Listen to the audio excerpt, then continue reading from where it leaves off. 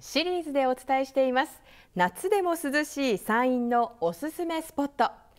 今日は鳥取県日南町の農園で小崎キャスターがミニトマトの食べ放題を体験です。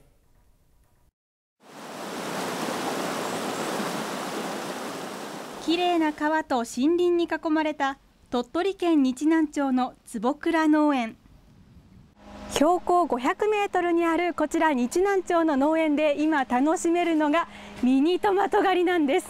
12種類のミニトマトが食べ放題なんです。こちらの農園では12種類のミニトマトを栽培していて澄んだ空気と地下から湧き出る井戸水で育った取れたてのミニトマトの食べ放題を行っています。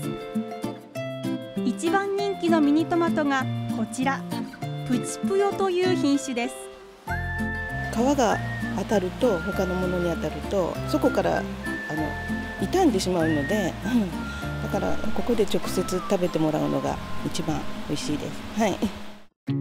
皮が薄いため出荷しづらくあまり市場に出回らない貴重な品種です。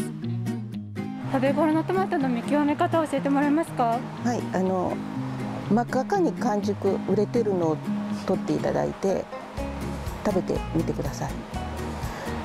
どうぞ。いただきます。うん。甘いです。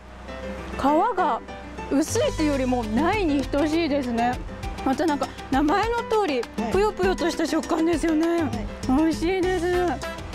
完熟だから余計美味しいと思います、うん、このほか赤紫色のトスカーナバイオレットや緑色のサリーナエメラルドなど普段スーパーでは見かけない珍しい品種ばかり。コロナの関係で行くところがない家族連れの方がたくさん来てくださってます今。すごく美味しいと言って喜んでくださるので私もとっても嬉しいです。またアーチ型になったミニトマトのトンネルは子どもたちも喜ぶこと間違いなしです。坪倉農園のミニトマト狩りは完全予約制で来月末までです。